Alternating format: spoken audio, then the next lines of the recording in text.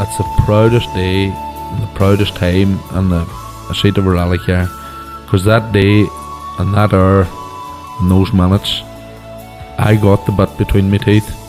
You know I really stood up and was counted and said this is not getting away. I remember when we pulled on our helmets and, and, and Donald says to me what are we doing? I said we're going for gold Barrett that's all we said. I can still picture that run. That was just the best best run ever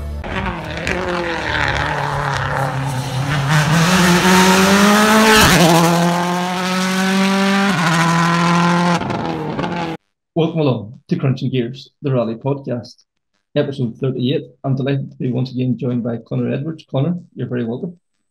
Hi, Kevin. Thank you very much. Great to be back.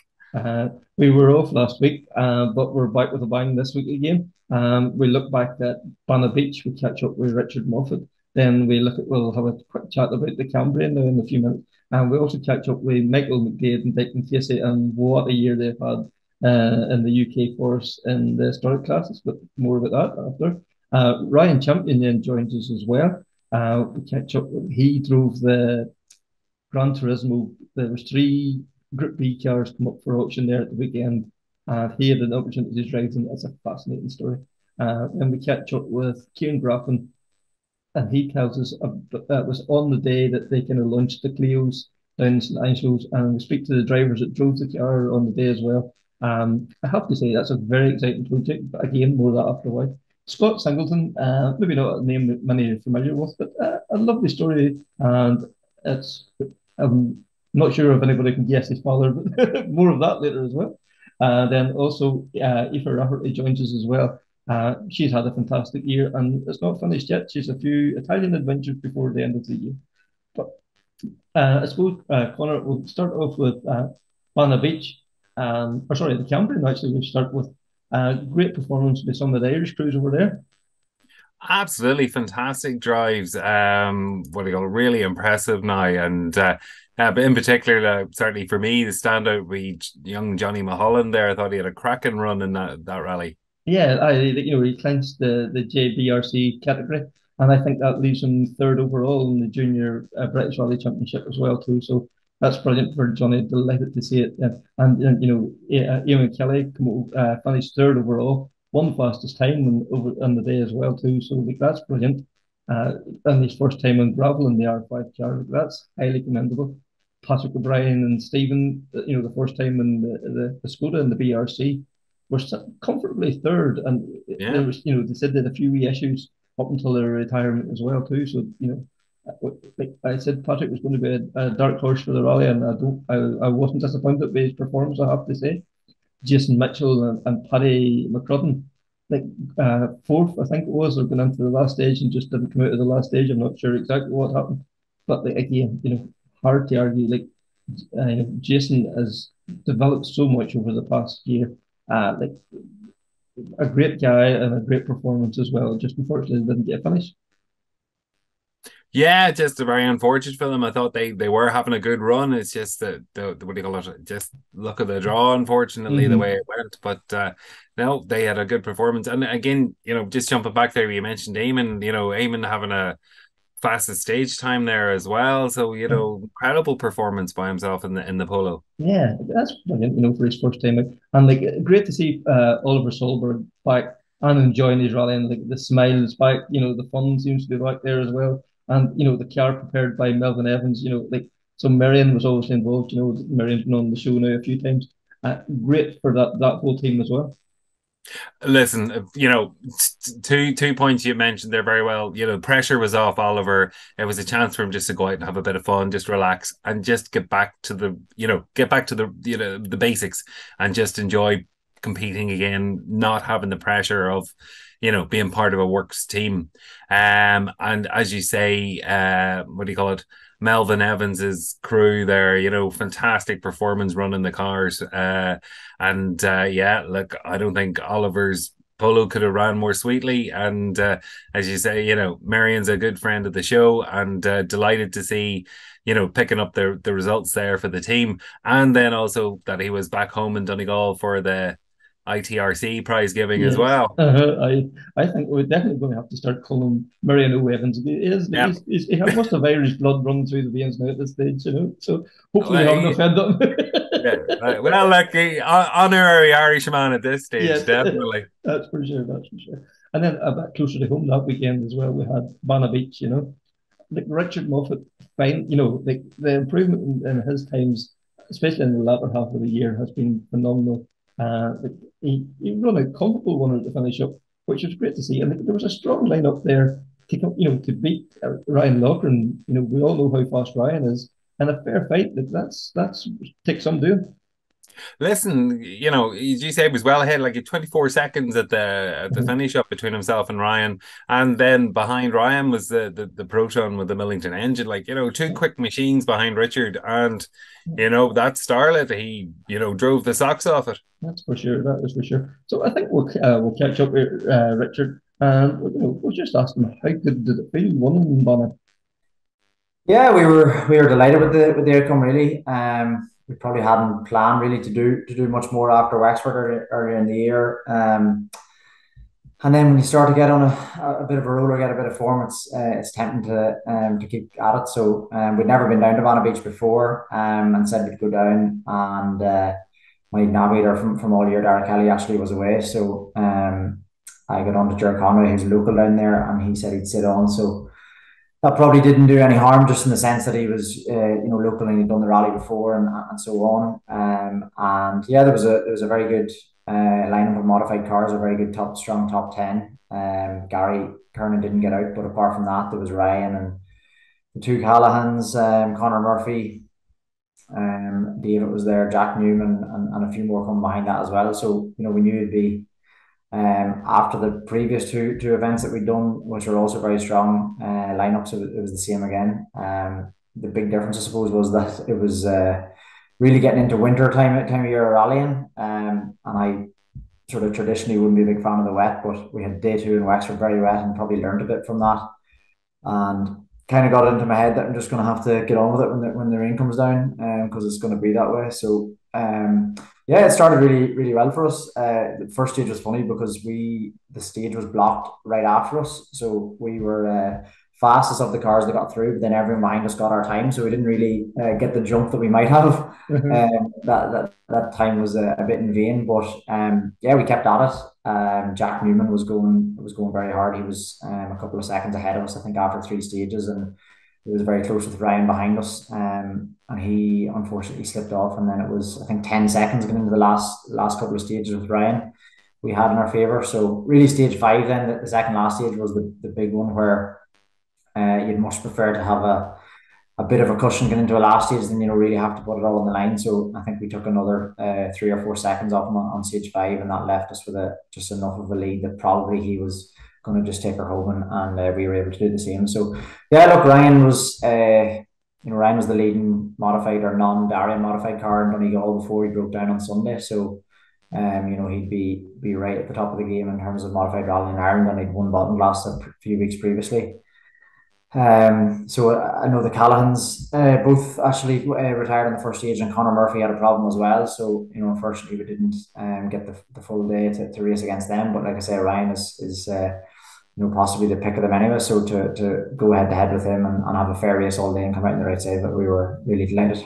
Absolutely, you know, like Ryan Loughran has to be considered, you know, one of the top modified men in the country at the minute. Like so, to to take him on in an equal race on, you know, questionably, you know, the, your least favorite, you know, the wet surface. No, you know, for some of the people who may have seen that as a, like an advantage to Ryan over yourself, to take that on and beat him has to give you great satisfaction. Yeah, de- definitely the the fact that it was wet probably gave me even more satisfaction. Um, just because for me it was probably a bit more of an achievement, um, not being that comfortable previously. Um, and even just for you know for the rest of the, the team and the lads in service, and we kind of said looked at you know getting tire choice better rather than well, my attitude previously nearly would have been sure when the rain comes on we just try and survive and go home type, type of thing um and I'm not worried about times but um just put a bit more focus on you know working on getting the setup right of the car and, and trying to build a bit of confidence in it and um yeah really like when you get all that part of it right like it's it's unbelievable what the car is capable of doing even even in the wet conditions Yeah. Um, and you know when you're pushing in those conditions, the, the, it's a that more that much more a fine line, you know, and, and um, there's that much more risk of, of just having even a simple off. Um, but yeah, we we got to a sort of a comfortable position where we felt we were able to push where we could and um, you know, make good notes and mark where the slippy places and, and just sort of find a balance that was uh, obviously a good enough pace, um, you know, without having without having too many modes. Mm-hmm. And like you talked there about confidence, like your your pace has increased this year, and you you've hit a sweet spot. Do you put that down to confidence, or is there anything else you can point pinpoint this year? You know, really from Galway summer onwards, you've been in the mix every time you went out. Like, is it something you changed in the car? Is it something you changed in your own preparation, or is it just confidence in your own abilities? No, did, didn't change anything uh, specifically. Now, uh, probably the big difference is that I've done more rallying this year than um, I've done in a long, long time, probably since 2013, 14. Um, you know, I think 2016 was the first year I took out the the, class, the 2.5, the class 14 car. Um, but I was living abroad at that point and I was doing a rally here and there. And always could like have some reasonable pace or set a couple of good times or whatever. Really doing a couple of rallies a year is never going to get you anywhere, um, you know, near the sharp end of it. Um, and then this year we we did a bit more, and crucially we had really good reliability. So we were getting all of the seed trials in. We had a couple of issues earlier in the year that probably you know, we, we like Monaghan, we you know felt we could have had a good result. We were leading after a couple of stages, um, and and had an issue that we got sorted, but we still got all the stages in and, and probably built a bit more. We got the full weekend in Donegal, um, and we had a, a decent result, but you know, still a, still probably um, you know, a minute or two off the over the weekend off the off the top uh, pace. Um, and then in Galway, maybe a few more suspension tweaks, uh, which again, when you're out once a year, you're really not doing that much because it's very hard to, to get a feel of you know what's what's changing and not go back to square one all the time. Um, and just seem to feel really really comfortable. I've also um, you know Dara Kelly's been sitting with me since since we rebuilt that car and really started back at it after after COVID. Um, so you know that builds over time as well. I suppose it can it can only help the, the time in the car together. Um, and from Galway, like we just felt really comfortable. Like, I said, people were asking me after Galway what I did differently. Like no, nothing really is the answer. Um, just probably got to a place where um, you know, able to drive at that pace without feeling uncomfortable. Um, and I think that's where you need to be. Like if you're if you feel like it's on the edge, you know, to sustain uh, what feels like on the edge, like it's just not going to work as far as I'm concerned, it's eventually going to, you know, catch you out. Um, so for whether it's setup or tires or loads or a combination of all those things and time in the car, we seem to be able to get to a place where, um, you know, we were able to drive at that pace, uh, but feel very comfortable uh, doing it. And um, Wexford was probably the big test. I mean, the, the in Wexford there was Kevin Eves, Gary Kernan, um, Miko was there, Declan Gallagher, um, and you know when we saw that was after Galway when we saw that you know kind of entry, we were keen to. It was a real benchmark, you know, um, and we were able to to be quickest on the Saturday in the dry at least. Now know Kevin uh, had the better of us on Sunday in the wet, but um, that's probably when we knew yeah we were at the at the right end of it. And again, like even that Saturday in, in Wexford where we set a good few fastest times and sort of in the mix the, the whole day. Um, you know, close to fastest if we weren't fastest, it, it still felt very comfortable. It didn't feel reckless or didn't feel like it was wing on a prayer stuff. Um, and I think that's the point that you need to get to to be able to sustain that. Um, and previously, I probably would have done events and thought, I don't know what much more I could do to get on the pace of those boys. Um, and it's just sort of all come together at the end of this year, thankfully. So, um, yeah, I can't not, no one thing, no, no uh, light bulb moment or anything like that. There's no. this is where we did it wrong all along. No, exactly. Yeah, yeah, just the combination. And, look, we'd work on the, you know, we'd like. I feel like we put a good bit of effort into like recce and we'd record the last loop of the recce and I'd watch it and you know stuff like that and you know I don't think one of those things will get you 10 seconds a stage but they all might get you one second a stage and it all adds up I suppose eventually yeah, like it's all a tenth here, a tenth there, and by you know after fourteen kilometers, them tenths all add up, and it could be four seconds, it could be you know, it could be eight seconds, but that's the difference, isn't it? And you know, we, we don't see that from the outside, but it's the effort that you guys put in before you get to you know the start line. All those wee things make a difference at the end of the day. Mm-hmm. For sure, for sure, no doubt about it. It's uh, like I mentioned, the team effort from you know from Navigator and um you know, right down to the boys in service and setup and like, you know, what the more rallying I'm doing, the more they're learning about, you know, the car and setup and, and, and tires and all that kind of stuff as well. So um, you know, I if it was one thing I was I would put it down to it's it's definitely seat time. Um, yeah, and as you know, you talked there about the teamwork. You know, you have now the confidence to say, you know, this tire worked, and you know these conditions. You know, I'm confident that that tire will work here now for the next stages. And you know, they're bolting that car, them onto that car. They have the confidence that you'll go and do, you'll bring out the best in the car. So you know that feeds right down through the team. Yeah, I think so. I think so. Uh, and, and like I say, every every time you're doing a um, the value that we had, I made um, in Killarney, I made a mistake on on Moll's Gap, and we just had a very small sort of uh, run off and, and broke a, a, steering arm. It was thankfully minor damage, but apart from that, we um, you know finished every rally we did this year, and that all adds up for for for the car, for the team, for you know driver, navigator, and, and everything sort of accumulates to I suppose the bit of success that we had in the second half of the year. Yeah. And then, you know, like as well as that, like, you know, your dad hadn't been well there with COVID and everything else over the last couple of years. To get him back in the uh, rally car for Baltinglass and like to see the enjoyment that man got out of being back in the rally car, uh, you know, must be like for us spectators watching, it was a fantastic feeling. What was that like as a family to watch your dad?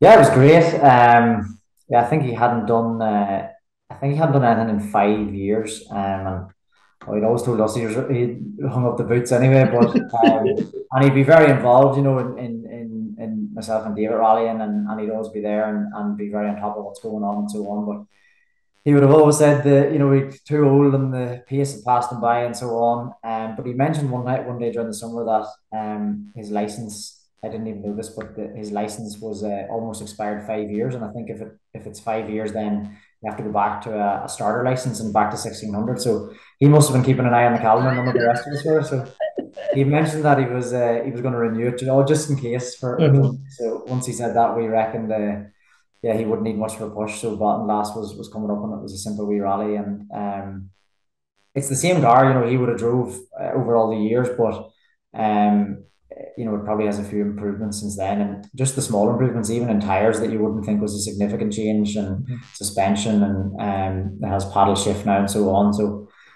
he was on about you know not using the paddle shift or any of that, but we got him into it, and and uh, he he kind of got used to it enough quick enough, and uh, yeah, he, he had a great day, and um, he, he thought like Look, he didn't make a show of himself, but obviously the pace has moved on a long way. But he thought the car was just um, incredible, you know, what the grip it had and, and all that kind of stuff. So hopefully it'll not be the last time we see him out.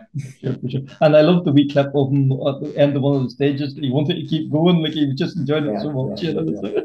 yeah. yeah, well, it's good to have uh, Jason back with him, you know, as well. Yeah. Um, they would have done so much rallying over the years. So, mm-hmm. uh, no, he definitely, uh, he definitely got uh, some bit of buzz out, out of the day. Anyone. Um, hopefully there'll be a few events where he can which he can uh, dip in and out of next year. He's certainly welcome to take the car anytime he wants. and like you know, the Moffett family is synonymous with rally in Ireland. You know, we think your uncle, your father, your two cousins, you know, like, and the whole Ballinode area that you live in, the, you know, the McGuires and all that as well. Like, is it a strong part of the community? Was it all you thought about growing up, or was there football, or was there rugby in the scene, or anything like that?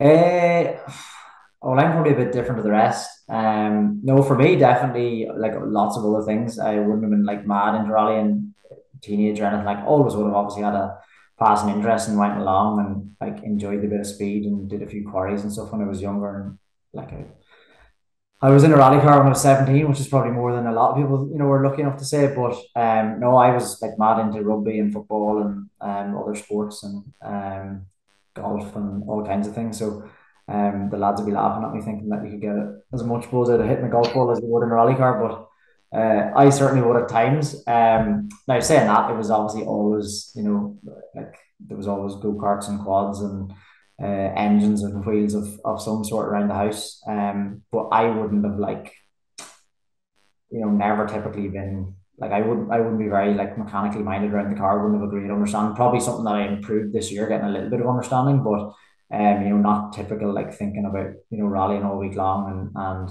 uh, working at cars late into the night and so on. Been in the lucky position to have um other people who are able to do that. Um, but I've always loved the the competition. I probably is is number one. Um, and the sort of buzz of um, you know, competing and and like I'd be lying if I said the first thing. Uh, uh, if, I, if I said it wasn't the first thing I looked at was the clock. You know, when we get over the, the, the finish line, um, and obviously the buzz of the of the um the actual adrenaline of the of the speed in the sport as well um, has definitely been.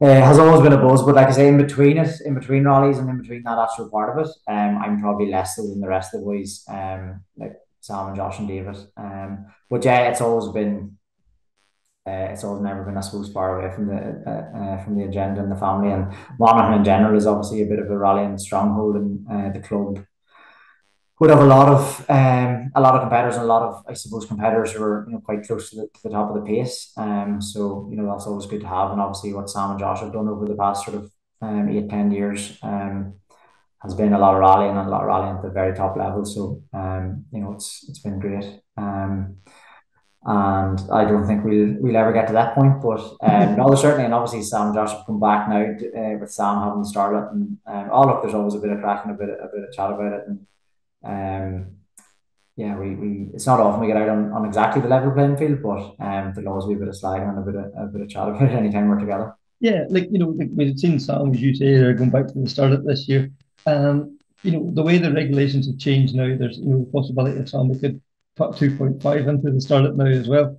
Like, would you love, you know, the four of you all to get together now, one rally, and, you know, put, or even like a stage, just to, you know, sort it all out once and for all?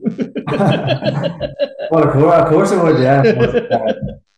oh, look, people would ask, you know, or even friends who didn't really know that much about rallying would say, oh, you know, who's the fastest or whatever And to be honest, like I couldn't I couldn't answer the question. I'd say at different points in time over the year we've all had purple patches and then and then bad uh, bad days and bad years as well. So mm-hmm. obviously what Josh did this year, um, you know, it was fairly unprecedented. He was pretty much un- untouchable at the sort of highest level of rallying in Ireland. And um, Sam did that in 2018, and um, you know, David has won border championships and national uh, class uh, championships. Um, I've probably never done as much as, as any of them, never done any championships or anything. Um, but yeah, if it was in class 14 and in class 14 startups, I'd like to uh, I'd have a chance on, on, on, my day.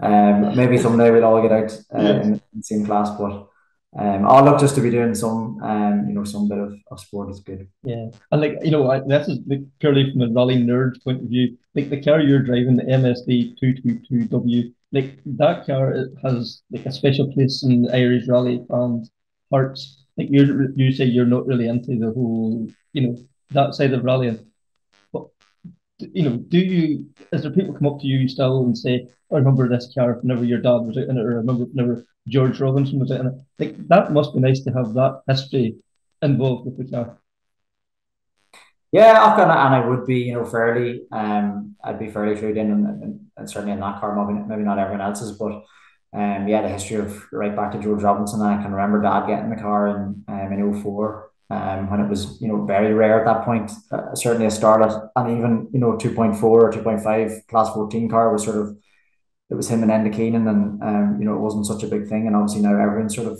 um, gone that way. Um, so it is nice to have that bit of history, um, you know, attached to the car and still have that um number plate on it and sort of see it evolve through the um, you know, with the technology that's kind of evolved over the years. Mm-hmm. Um, and yeah, we'll get a lot of people, you know, that would come over and, and know the car from before, remember that, and probably, or um, even sometimes back as I think it won the national championship in 1984, I think, in, June, in June, uh, mm-hmm. George Robinson. So, mm-hmm. um, yeah, there's, there's, uh, you know, there's a lot of history out and yeah, like I love the car, but probably even more so after this year, but um, I've never driven a Mark II or never really driven much else. Um, but it's certainly, you know, I think there's other people out there, well, Jason Black and Declan Gallagher. It's it's sort of proven at this stage that um, you know, Starlet can be fully competitive right at the, the top end of modified rallying. So um, I certainly wouldn't be I wouldn't be jumping into Mark II any anytime soon.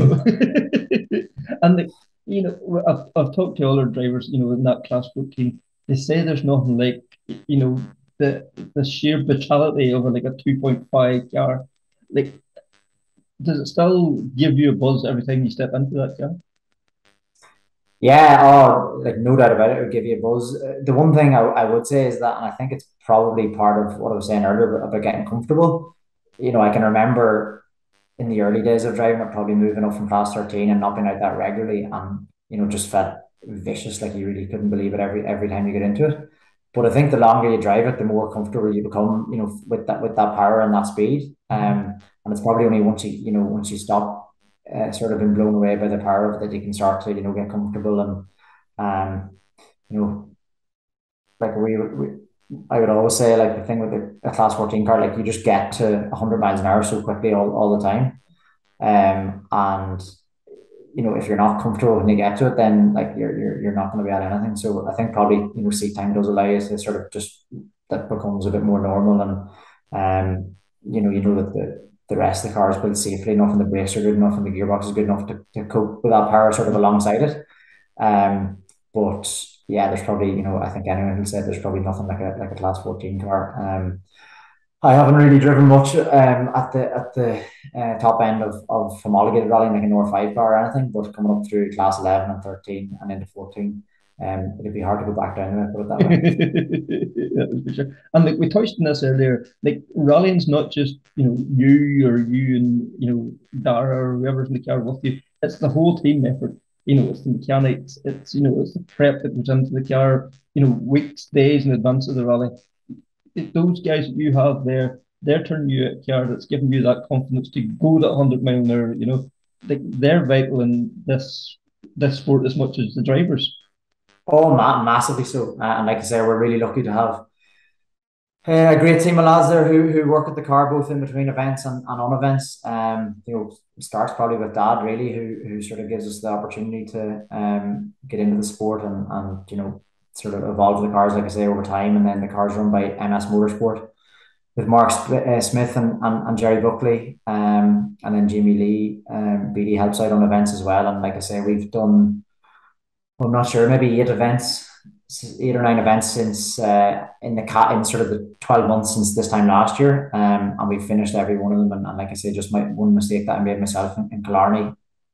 Um, you know, was the only event that I didn't finish. So, you know, to have that reliability, you know, it, it doesn't happen by accident. Um, you know, there's a lot of thought goes into preparation and, and making sure that things are in place when they need to be. And then even when there has been, on occasion been um, issues on events, we had an issue in Wexford and it's all hands to the pump, you know, to, to, to get us going. And, um, you know, I think the, the boys are, are invested in it as well in terms of, you know, wanting to win and um, it, it means more to them when there's, some kind of success, you know, at the at the end of the weekend. So um glad I've been able to sort of do that in the second half of the year. And then um I suppose the other thing is is uh well first of all David and Martin obviously are doing most of the same events as us. So, you know, between the two of them and myself and Dara, like we'd be in contact a lot and looking at in cars and and you know, sort of pushing each other on as much as we can. Um, and then Dara, like I say, has sat on all year. Um, or since since we sort of uh, took the car back out after COVID, like I said, and um, been flawless from the start. But you know, even being flawless, it probably takes a bit of time to build the relationship. You know, when I get more we get more comfortable with each other, and he starts to understand, you know, the way I drive or whatever it might be, and vice versa. Um, so you know, that's definitely been a, a work in progress, and got to a, a point where it can be competitive as well. And then uh, obviously, like you mentioned, Jer sat on in in in Banna Beach, so um you know, it didn't, it certainly didn't hold us back. Uh, he's a, you know, sat in some very, uh, very quick seats. So yeah, mm-hmm. I knew that wasn't going to be a problem for him anyway. And I think he's, uh, I think he's won the national in, in the lakes, the national in the historics, the historics itself, and now Banna Beach. So he was saying he just needs to win the the international in the lakes, and as a Killarney man, he'll have the whole he'll have the whole lot. he'll have Paul Nagle knocking down his door if he tries that. exactly. exactly. And like for yourself, then, um, you know, do you want to keep this r- rich run, uh, being a form running? Like, do you, you know, will you go to Killarney or will that do you now for this year? What's your thoughts there? Yeah, well, that's us done for this year. Uh, I actually have a wedding uh, the weekend of Killarney, my cousin's wedding to go to, so I'm almost glad that I can't be tempted into that as well. Um, so definitely won't be out again this year. Um, obviously, would love to, you know, would love to pick up where, where we left off uh, next year. Um, know that that just won't be it'll be easier said than done, but it'd be it'd be nice to get uh, sort of be back in the mix uh, whenever we do get back out.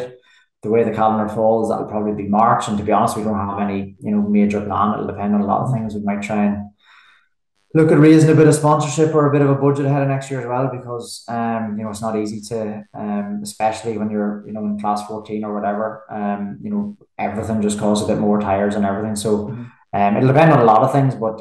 Uh, at a guess, I'd say I'll probably not do a championship, but pick sort of select events, um, and you know try and sort of be on the pace at the right times. And look, above all, it's about it's about enjoying it, and you know whatever else is going on, and you have to work around uh, other people's you know schedules and all that. So it's not something. It's not going to be like you know I'm not going to take over my life and do two championships and not go and uh, do anything else or miss out on other social events. So look, I'll, I'll dip in where I can and probably do you know six or seven or eight rallies next year, all being well if, if things go good. Um, and to be honest, personally, I'd probably be more interested in, in picking up sort of individual, you know, either class wins or, or be involved at least in good battles or whatever, yeah. um, than sort of the pressure of a championship and having to drive for, you know, with the um, points in the back of your head now, trying to yeah, all, all that kind of stuff. So, uh-huh. yeah, it's, it's very different, and I've never done it, and, and you know, it obviously takes um a lot of effort and a lot of uh, skill to, to be able to you know put a championship run together. But um, like I say, just with the time commitment of it is one thing with work and, and everything else. Um, and, and like I say, I'm, I'm probably you know just happy sort of taking a uh, event by event basis and and uh, just see what you can do on one particular event without the thought of everything else in your head. So uh, no major plan yet. Um, the calendar is funny because Monaghan is not an event next. Uh, it's mm. off the calendar next year, so that'll be a, a first for us. Uh, so we'll have to take a look and, and see. Um, you know, we'll probably try and get to Donegal and I'll definitely try and go back to Banna because we'll have the, the honour of having number one on the door there. So um, yeah, we'll work it around those and we'll, we'll hopefully get out all being well for um, six or seven events anyway. You know, but this the whole thing behind this podcast is always been to celebrate what's so good about Irish Rally. And like two guys that's had a phenomenal year as Michael McDaid and Declan Casey in the historic Mark II. Um, you know, they've had between the British Forest and the Irish Tarmac, they've had a great year, and the list of silverware they've collected is something else. But you know, there's no point in me telling you all about it. We'll hear from the two guys. Uh, we just wanted to try the English Forest. Um, I, I've been speaking to a couple of lads. Um, I know the Bard lads were always going away to Wales. I would be friendly with, with Raymond Ormack, who does the service in the car, would have built a couple of cars then, boys. And right. they're always talking about these stages, the fantastic stages they were in Wales and England. Like. So I suppose we wanted to try it. Mm-hmm. Um, what better way to try it was in a BDG, like running through the woods. And, uh, and, and obviously, the, there's some seriously famous stages over there. Um, they're very fast, they're very flowing. Last year, we only went over and done four or five events. It was all a learning curve for us. Like mm-hmm. we didn't think we'd even be competitive, but I suppose we weren't really at the start. But then, you know yourself, with a bit of experience, this year we've had a really good run of it. Like, and like, you know, is, is seat time vital? Like, is that you know, is that give you the confidence then for, to go this year and to be able to push on that wee bit more?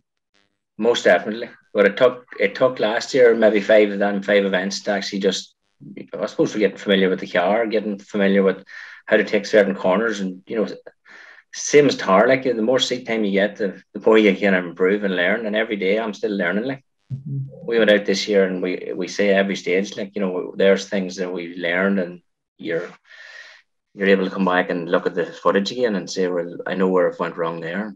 You're making mistakes every day but you're obviously improving every day as well. And Declan from your point of view you know you talk about learning there and all like every day is a school day. And like do you find that even you know on the co-driver side of things that you're always finding new ways to improve new ways to make things better?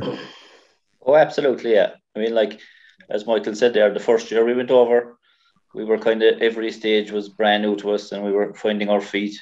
Timing is slightly different over there, and so the first year we were just getting a bit of experience and getting used to the new ground. And then this year, when we start going back to some of the events that we did already last year, we can see already that we're making massive improvements. Just familiarity with the stages and familiarity with the whole setup over there. And um, yeah, we had a really good year this year. Yeah and you know, you know, uh, Michael talked about those famous stages. You know, you competed in some of the stages. You know, old RAC classics. You know, names that we used to watch, and you know, Top Gear. You know, the the RAC specials back in the day. Like, how special is it for like for yourself to sit on the start line of say a Radnor or a Kielder or whatever? Oh, it's unreal. It's, it's like you're, you're pinching yourself. We, I don't think we realize until we come home how famous they actually were. Like, I mean, you're you're kind of in the in the bubble at the time, and it's you're just doing. I'm doing my job, and he's doing his job, and we're trying to get to the end as fast as we can.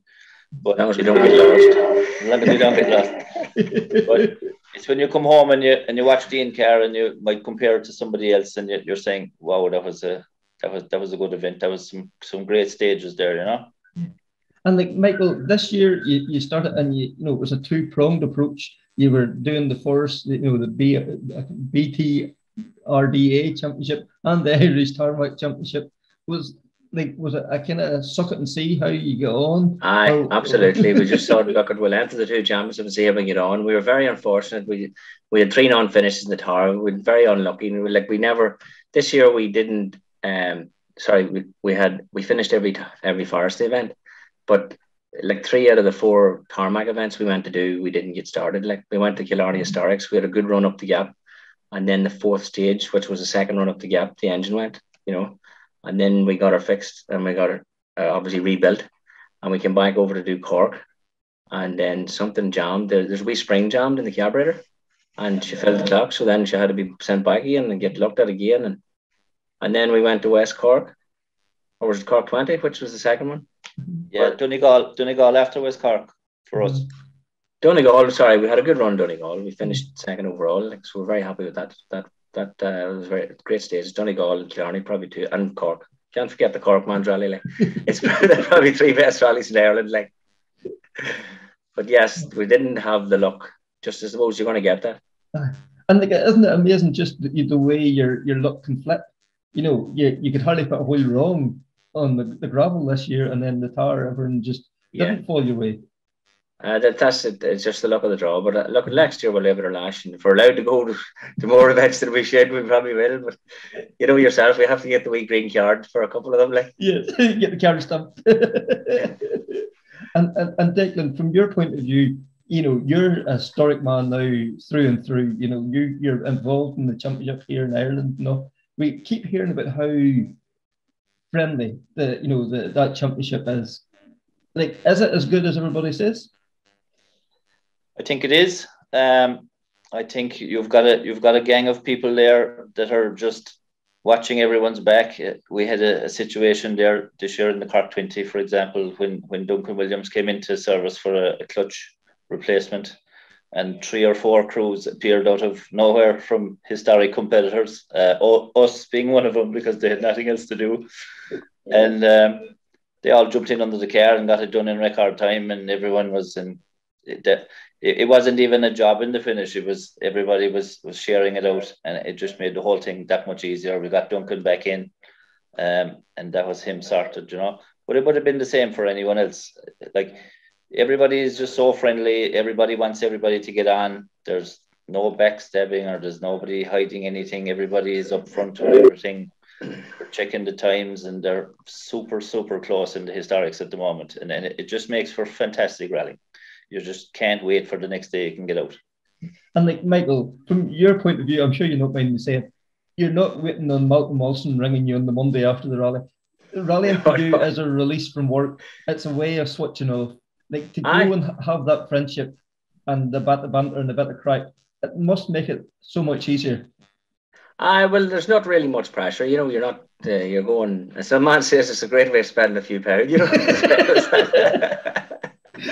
but no, it's a great old, there's a great old buzz. Um, you go down. I suppose the tarmac is different in terms of that you have to go in recce, and if it's a two day rally, it's a day and a half nearly of recce, and so you kind of you're not trying to do too many of them events, but you'd like to do enough if you want to do the championship. But the, the, the beauty of the gravel is I know it is over the, the them ones were over the Wales.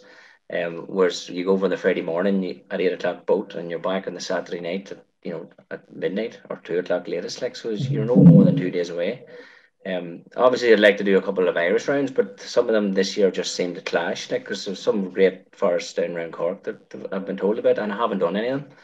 The only thing I one I've done is um, the Bushwhacker, you know, my last year, mm-hmm.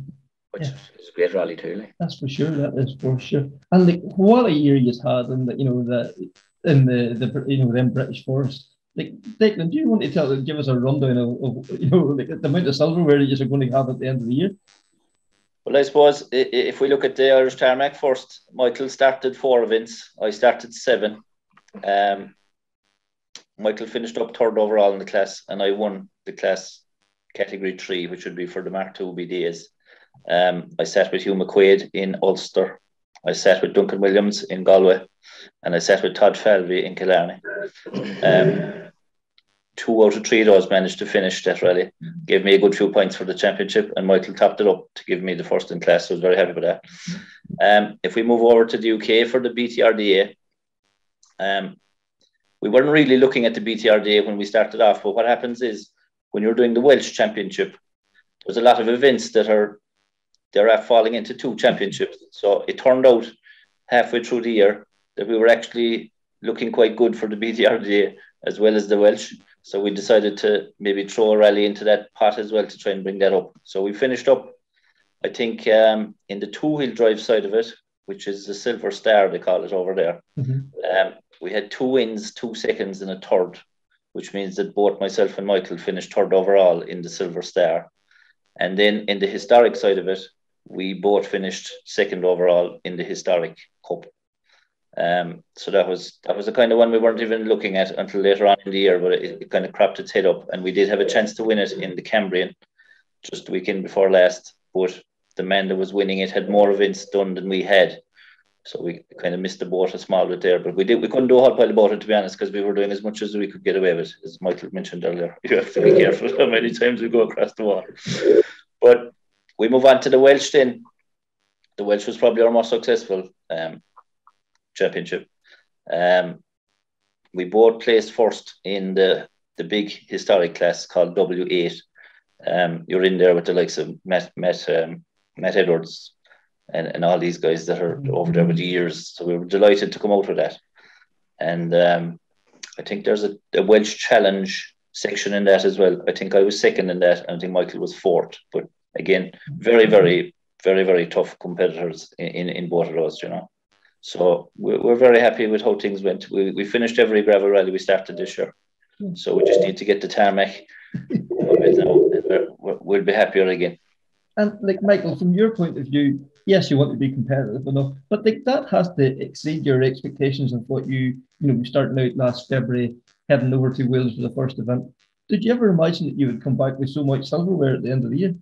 No, definitely not. If uh, we, we just we thought we'd go out here and have a bit of crack and see how we get on, and obviously we didn't get any silverware last year because we were just learning the whole thing. But this year, no, we've improved every rally. To be fair, you know, we had a really good result on the plains earlier this year. Um, I can't remember where we were. It Was third or fourth overall car?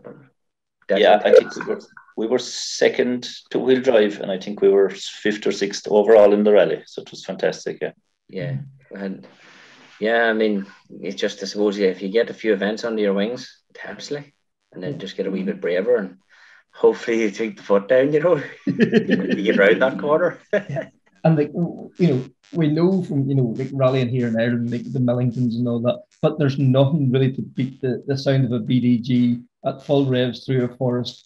Like to be inside listening to that song, it must give you some buzz Can you know, as hard as you can go down a forest and getting it right. It's actually pretty amazing. I see you, you don't really hear it obviously because you've got the earphones on and the muffle, but you can hear them boys send you videos of it, and you're like, it makes the hair stand on your neck, you know. Um, and then the power and the torque that the cars have is pretty amazing. You know, they're not the 300 horsepower, as you said, uh, two liter 16 valves, like, but they're still 265 horsepower. The torque's really good. They pull well. You know, they do go hard, and if you if you're brave enough, you'll you'll do well in the forest. Like. Mm-hmm. But great PR to go, like, and then the boys just love it. See anyone spectating. We went out and watched a stage. Sometimes you go out if you get a chance and watch a stage, and it's it's it is it's class just to hear that roar going up the, and the echo. Mm-hmm. It just doesn't sound the same on the tower, like no. you know when you have the thing going through the trees, it just it's mad, like. Mm-hmm. Even think about it now. And like Declan, you know, you as I said earlier, you are a Mr. Historic in Ireland. Like the you know the British Championship, that BTRDA Championship, is it as friendly and as welcoming and the Welsh as well as the Irish as well? You know, were you guys welcomed over there with open arms? Yeah, well, I suppose the first year we went over, we were kind of keeping our head to ourselves, and we, we weren't doing a whole pile of mixing. Now we knew a few, we knew a few fellas in our service crew would have known a few crews from previous years, but this year, in fairness, lots of guys coming over wishing us well, and you know you're after really coming on up the ranks and, and and wishing us the best. And like it's just pure again familiarity. You're meeting the same guys at the start of the stage you get out and you're getting ready for the start of the stage, you have a few words and what did how did you get on in the last one and what tires are you using and what pressures are you on? And in fairness, they're very happy to share information and they're very glad to see us over and, and, and we're very happy to to, to take part. And uh, the crack is good, yeah. The crack is good.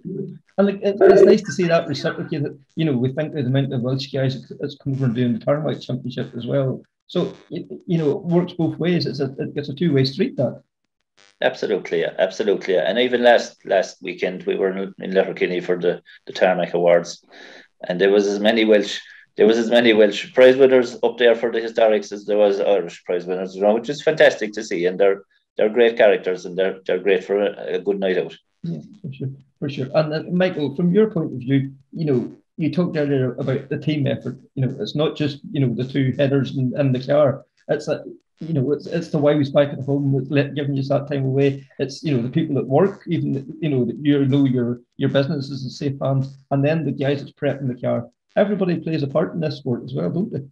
Aye, absolutely. And Raymond, who's our Mike Motorsport, who built the car actually, and would I mean he takes the car away every time we do a rally, and he takes out, you know, he does basically well, he doesn't strip her down completely, but I mean, takes the diffs out and gives her an overall check and gives her a very thorough check. And to be fair, this year the car has been faultlessly.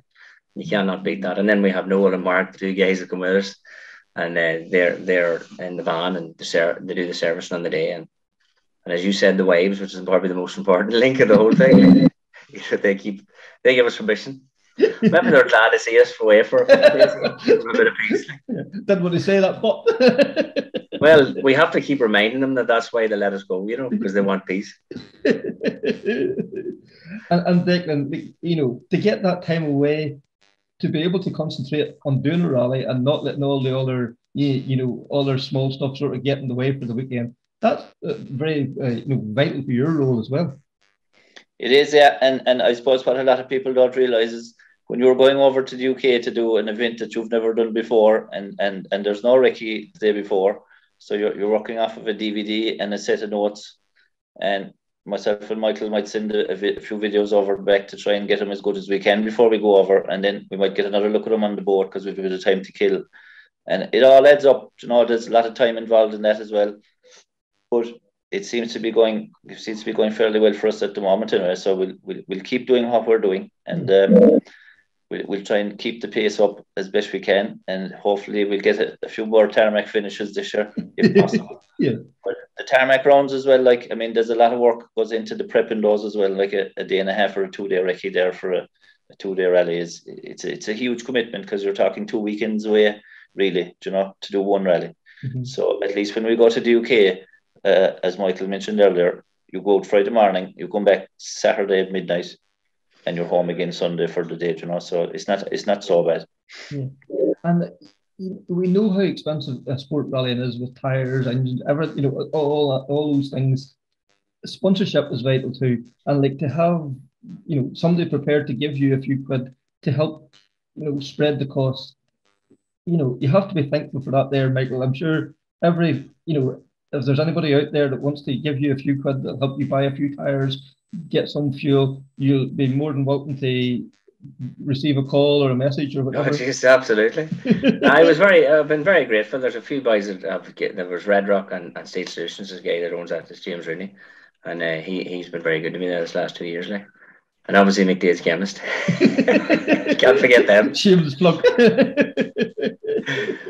So we'll have to keep the pushing the pedals as much as yes, for sure, for sure. So you know, looking ahead now, you know, Tarmac Championship is going to be starting up again now in a few weeks. Um, Killarney Historics. Do you see yourself heading down there, or is that you finished for the year now? Oh no, I think I mean Killarney Historics is probably one of the biggest rallies of the year. So if you've got a BDA, that's the place to be, like, mm-hmm. or BDG. Yes. Mm-hmm. And, and, I'm looking forward to it. Like. Yeah, and, and, and you know, we've seen how well developed the Tarmac, that historic uh, part of the Tarmac Championship has come on this last few years. And like he's already announced a sponsor for next year. The championship seems to go on from strength to strength. Yeah, there seems to be a big momentum at the moment for the historic championship. Um, even talking to a few lads again at the prize giving last weekend, um, there seems to be a lot of people who are moving on from the modified classes and starting to build historic cars. Um, I don't know I suppose you couldn't really say that they're that much cheaper, but there there seems to be a there seems to be a lot of people interested in the historic side of it at the moment, and they're they're having a good look at it. Um, they're selling their modified cars and building historic cars, and they're going to give it a go and see. Like it is good crack. The racing is as close as as you'll ever get. I think there was one stage in Donegal last year. There was eight cars within five seconds of each other after 12 or 14 miles. I mean, it's it's absolutely unbelievable. Like, and that's exactly what you want. You want to be fighting for every second.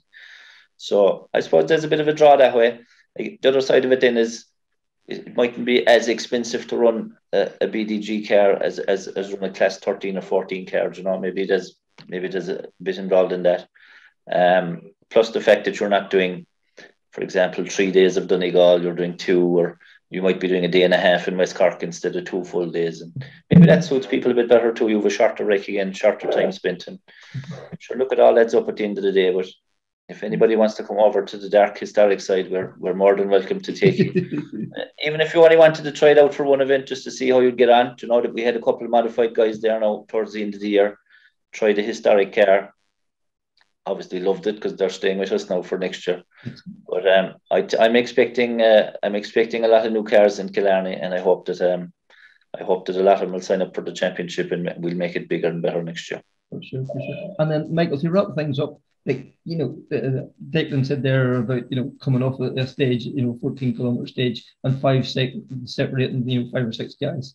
For you to be in the middle of that, does that give you a, a, a such an adrenaline buzz to be to feel that you know that how close that competition is to be involved in that. Like, is it is it magical to be in the middle of all that? That's what I suppose I'm trying to say. Uh, it definitely is. Uh, it's a great feeling, great buzz, and then you know you're getting out to the end of the stages and you're shaking hands with the boys before and saying, well, obviously you're taking saying to the boys, take it home, boys. You know we all want to be, you want to drive safe, you want to drive as hard as you can, but as safe as you can. But you know it's all it's good. That's part of the fun, like. Yeah, you know? you know how hard you've driven on that stage, so you appreciate, you know, if somebody can, yes. can get us closer, beat you by a second. Yes, you're disappointed you've lost a second somewhere, but you know, you know they have laid it on the line the same as you have. absolutely. I mean, there's it's a fine, it's a very fine line, as I say, you know, and it's amazing how you can like lose time in one place and gain it in another, and it's all how the cars sometimes even the, the, the ratios and the diffs and all that but the good, the, one of the good things you mentioned about the, I suppose, the historic is that you know there's only so much you can do with the historic cars, and they're nearly all on a level playing field.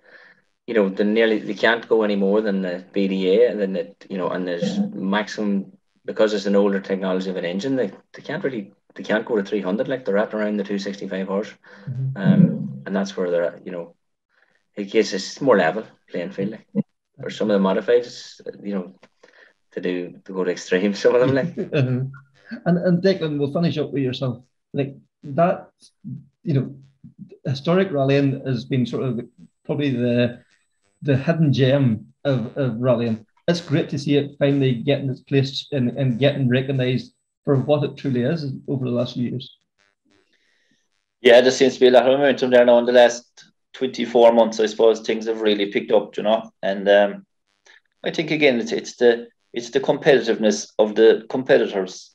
It's the camaraderie. It's the everybody seems to get on very well. Not saying that they don't get on in other categories. Like I, have I've been in class thirteen. I've been in class twelve with Michael, and I, class twelve was absolutely fantastic as well because the Pinto class again. There's only so much you can do with the car, but I think it's the close racing. It's the fact that everybody is so friendly. I think you can pick up the phone there and you can have a chat with any one of your competitors. We have a a very active WhatsApp group at the moment, which is alive coming up to Killarney now. Everybody is, is looking for nuggets of information and what's this fella doing and what that fella, what tires is he running and what pressures is he in. It's it, it's fantastic to be part of and long may it continue. So Kevin, there was a fantastic auction in Sotheby's at the weekend. It was part of the Gran Turismo Group B collection. Uh, was up for auction. Um, there was a Lancia 37, the Delta S4, and then the, the Quattro S1 Evolution 2. And they went for some ridiculous money. Uh, the, the cars looked absolutely phenomenal.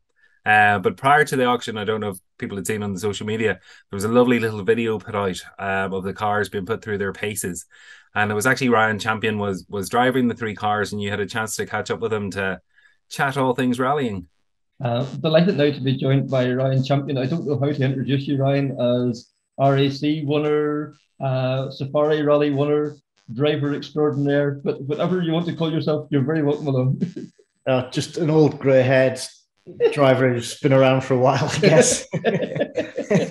um, yeah, somebody who's still glad to be rallying, I think. Yeah, uh, like, and isn't it great that you you you've kept so busy in rallying like 20 years now, and is it now maybe more? Uh, 30 I actually did the track road rally uh, 30 years ago was my first stage event and that was driving. I'd co-driven for a couple of years before that so um, yeah been around you know around rallying a long time and yeah like you said it's just nice still to be involved um, and quite regularly involved. All right I maybe don't compete as much as I'd like to anymore but um, still heavily involved and, and still get to drive um, some pretty cool cars yeah, and that's I thought that's why we have you on here. Um, we've seen recently Sotheby's with having the Gran Turismo collection for sale, and three eye cars really caught the eye, and you got an opportunity to drive them to showcase them before the, the auction.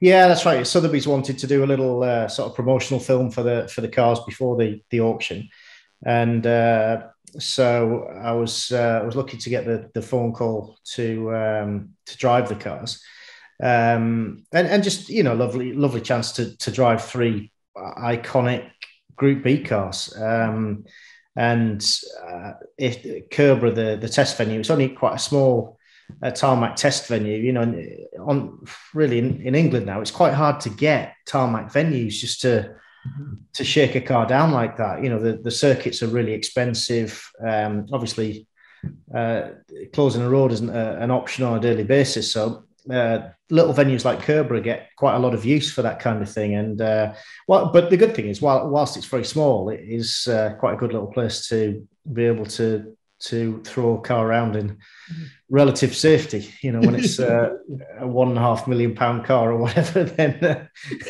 you don't want to go too wide. no, you you want to try and look after it a bit as well. And and a forty year old one and a half million pound car that was that was deemed too dangerous in period, and uh, they haven't got safer. No, and like you know, you're like a similar age group to myself. Like these was the cars that whenever we were young, we had pictures up on our bedroom wall. This was like boyhood dreams. Like to you know to step out and see these lined up, and you're going to get the opportunity to drive them. Did you have to kind of pinch yourself almost?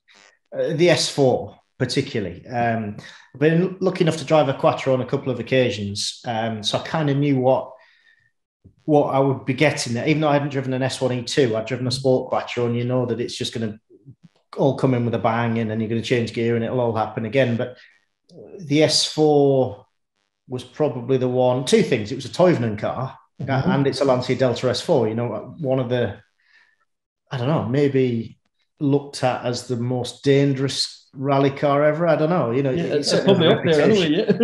Yeah. yeah, I mean, obviously, with with what happened to to Toivonen in Corsica, it, you know, it, it, does have a reputation, and um, so that was slightly intimidating. But but funnily enough, ironically, exactly the same place. I drove a Stratos a couple of years back, and it was a similar similar feeling getting into a Stratos. It was just like, what's this going to be like? And and the Stratos was lovely. Um, really nice balance, easy to drive than I thought. Um, and and the S4 wasn't so dissimilar. You know, you, you, jumped in it, and actually, the gear change was nice. The steering was nice. Um, the yeah, the steering was, was quite quite precise on it. The balance of it was good. Um, you just had to get some heat in the tires. I mean, to be honest, I, I was waving a bit to warm the tires up, and I, I nearly spun it warming the tires up because they just had absolutely no grip, like nothing. Um, but once there was some heat in the tires, it was it was quite nice, and uh, and to contrast it to the Quattro, where you know you do have this massive off boost lag, and then and then bang, and then it revs, and then you change gear, and, and then you repeat the cycle. But obviously, the whole point of the S4 in period was having the supercharger as well that that it was responsive low down. And um, I drove the 037 first of all, and again, it was I've been lucky enough to drive quite a lot of different cars over the years, but the Lancias have all come quite recently, and and funnily enough, now a Stratos, an 037 and a, mm-hmm. an S4. as you do, as, you, as you do when you think about it, and and yeah, uh, you know, I've been very lucky to to experience these cars, but um, the 037 was lovely and, and and very much maybe what you'd expect, you know, like a it felt lightweight. It, it felt like a, a tarmac racer, if you like. No power steering in that, mm-hmm. um, and and responsive with with a supercharger, but then just dropped off a bit more top end. So you get into the the S4, uh, and like I said, the first thing is it's power steering, so it's not physical. Um, it's got turning, it's got throttle response, uh, but then you've got top end power as well. Um, but uh, it was quite funny that day. The photographer or the the the Tom the guy filming said, um, "Can you can you just see how sideways you can get the S4 just coming out of that hairpin?" And I'm like, "Yeah." if you just yeah. what, what's the worst that can happen? Um, and uh, yeah, uh, it's a little bit edgy on the limit, I have to say, but um, but not yeah, not horrendous. You know, just like you just it, you could just feel it just would grip up quite quickly on mm-hmm. on slicks. But um, yeah, like I said, I, I, have to say I was very very pleasantly surprised by how easy that car was to drive. Mm-hmm. Um, the as I said, the 037 it, it, it, was more or less what I expected. The Quattro, you kind of know what you're getting into, but the, but the S4 was very much um, a surprise, really. Yeah, and like, did you almost feel Toivonen stepping into it? Like, was was that all playing through your head? Like the, no. the Top Gear theme tune going on? no, but I I did walk into it. I did honestly just tell myself it's just a car, right? Because you're getting into Toivonen's Monte Carlo winning yeah. Delta S4. I mean, ironically, the Quattro went for more money. You know, there was more hmm. interest around the Quattro, but for me, of the two cars, you know, the uh, a Toivonen car, Monty winner, and an S4. It, it yeah, it, you know, in his seat with his name on it, which you know, I think they were all, all genuine seats and everything in it. Um, yeah, I did. I, I, genuinely did. I just walked to it, walked straight to it, thought it's just a car, fired it up, drove it off without trying to overthink it. yes, yeah, exactly that. and the, in reality, like, you know, the uh, the the, Quattro with 1.8 million, uh, the the Delta S4 like 1.6 million. It's an obscene amount of money, but if you had that kind of money spare, it would be nice to be going and have something like that in your collection.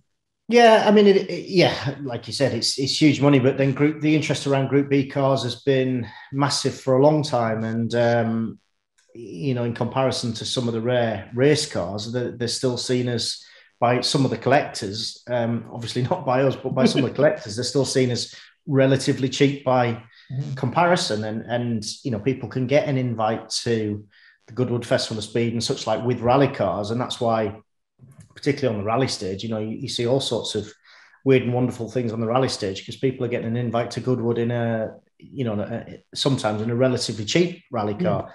Um, now, obviously, they're not cheap, but in terms of running up the hill at Goodwood, for example, you know, you, they aren't cheap cars, any of them no. running up the hill at Goodwood. So mm-hmm. it, it, it does open the door to some people to like a fairly elite club, and to others, they'll just become a yeah museum piece. But yeah, hopefully they'll uh, they'll they'll be used and uh, you know they'll be seen in. Uh, in, in some kind of events because it's always nice to see these these cars out running. Um, I mean, having said that, how how people do run them at the likes of Rally Legend and, and run them yeah. properly for yeah. a extended period. I mean, that's a that's a, a different whole, ball game. That ball game is right, yeah. Like you know, you think like of a, a, gearbox casing or something like that for a, a Delta S4. Like it's not. Never mind, can you afford to buy it? It's getting one. Never mind. else. Yeah, and and and obviously the, the the big risk with those is, well, with any rally car is fire, yeah. and um, obviously you can replace the mechanical bits, but you do unfortunately see it. He did in period, you know, the fires with those cars, mm-hmm. and there's a lot of flammable stuff in there. And uh, yeah, that that would be my worry if I owned one of them running yeah. it. yeah. Get out, to give it a wee every now and again. yes. yeah. And then, you know, with something else that's very close to your heart, we could talk about rallying, is rallying with Down syndrome. Yourself, Danny McMillan, and John uh, John Stone was the sort of the, the forefathers of this. For, for, a great idea, it took off, and it's really helped to raise awareness. Uh, you couldn't have asked for better, really, could you? No, it's it's been great, really, um, and and not only you know not only the way it's raised awareness, but the way people wanted to get on board with it as well, and um, people asking for stickers, groups, clubs, whatever, asking for the the rally for Down syndrome stickers, and and like you said, I mean, Danny and and John had, had kind of started it between themselves, and then uh, and then our son Finley came along, and um, I guess we we sort of fell into it by accident, you know, through motorsport and um, you know, and, and, and, getting to know Danny and, and, and knew John a little bit already, and and then Finley was on the rallies, and uh, he always got attention anyway. Um, and and yeah, it's been great. It really has, and and it's you know people aren't. In some ways, I guess people aren't scared to talk about it. Then, if the stickers are on the cars, people yeah. are happy to ask about Finley. They're therefore happy to ask how he's getting on and, mm-hmm. and whatever. And um, you know, all of all the boys are, are, doing well. You know, obviously John and Alex are, are competing oh, regularly. Isn't that, isn't that, such a fantastic story, isn't it? You know. yeah, yeah, it is. You know, it, it's lovely to see Alex winning rallies regularly with with John, mm-hmm. and uh, you know, it'd be lovely to do that with with Finley one day. But it's um, yeah, it's been nice because, like I said, people are interested in it, and I think it allows people to talk about it without feeling awkward about it. Yeah. Um, because even when Finley was born, Down syndrome wasn't something we really knew about, and mm-hmm. um, it, it, was a learning a learning process when Finley came along. So, um, you know, I think a lot of us are naive to these things unless we're directly involved in it. That's for sure. And the you know the awareness, you know, the, the, there's been a lot of money raised, and that's fantastic, and that goes to great causes. But as you say, it's it's normalizing it. It's not making people well better not ask, you know, in case I say the wrong thing. It's the the awareness is is key. Yeah, it is. It is, and um, yeah, exactly. Like like you say. I mean, regardless of whether you know whether it's um, special needs or whether it's an illness or whether you know we we are generally reluctant people, aren't we? People yeah. we, we, don't like to to ask if we don't know about it. We don't know what to ask. We don't know what to say. We don't know how to talk about it. And uh, yeah, and as I said, getting getting getting the stickers out on the cars, and um, as you say, I mean, Danny done a, a phenomenal job, uh, particularly in Donegal with, with raising money. But um, it, it, as much as raising money, it was literally the awareness and just getting people talking about Down syndrome and just um, you know realizing that that that uh, not only, not, obviously, the well, Alex is growing up a bit now, but the, these are uh, young young lads, young boys. But but you know, going down, thinking about adults and that mm. adults with Down syndrome can now lead normal lives and um, you know in everyday society and. Uh, um, you know, actually led to to meeting Damon Hill and Damon Hill's son um, was again an adult now uh, with Down syndrome, and, and Damon Hill said that um, one of the most nervous days of his life was when his son went to work for the first time on his own. Had to get the bus across town, and you know, starting a Grand Prix was normal to him. Seeing his son go out the door to to get on a bus and go to work wasn't. Yeah. Um, so so yeah, you know, it's led to uh, uh, just a different path really, and uh, and I have to say, Finley Finley's a real pleasure to. Uh, to look after, and in, in some ways, uh, quite a lot easier than his younger sister. Which you can imagine. And the, you know, you talked about the stickers that Danny and, and John come up with originally. They, they have been adorned your car. You know, they've been uh, across Africa. They've done the RAC rally, and beyond yourself, they have travelled the world. Yeah, they have. Yeah, literally. Yeah. Yeah, literally been all over the world, like you said. Um, you know, quite a few cars have been running them on, on Safari and Barbados and yeah, yeah wherever. And it, it is nice to uh, uh, to to see the stickers out there, and um, you know, isn't something really we've been pushing that much, maybe you know, post COVID, but uh, still people want the stickers and, and want to run them, which is lovely. Yeah, for sure, for sure. And then before we let you go, like you're whenever you started out rallying, the the big thing at that time was the one make you know, championship, we think of the two oh fives and whatever, and like, you know, we think yourself, uh, Colin McRae, Richard Burns, uh, all these great names come through the sport with that. And here in Ireland next year, Kieran Graffin's hoping to launch uh, a, a Renault Clio challenge. Uh, like a, a one make championship is a, almost a no brainer when we think of the way it was in the past.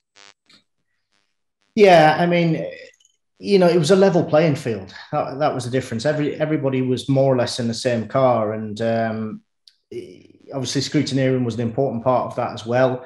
Um, but but yeah, you're all in the same car, and and like you said, Richard Burns, Colin McRae came through the, the Peugeot Challenge, but you know even my direct competitors, if you like, there was there was myself, there was Justin Dale, Neil Simpson, Jock Armstrong. Um, uh, you know, all in one year, there was like a, a load of us that, uh, that all competed against each other. And then, of course, I went back and did uh, 106s against Rory Gallagher, against Chris Meek, Gary Jennings, mm-hmm. um, again all in one year, and um, it's uh, it's amazing really when you look around those sort of that era of, of who came out of one mate championships. Um, I mean, I dipped in and out of quite a few one mate championships every time.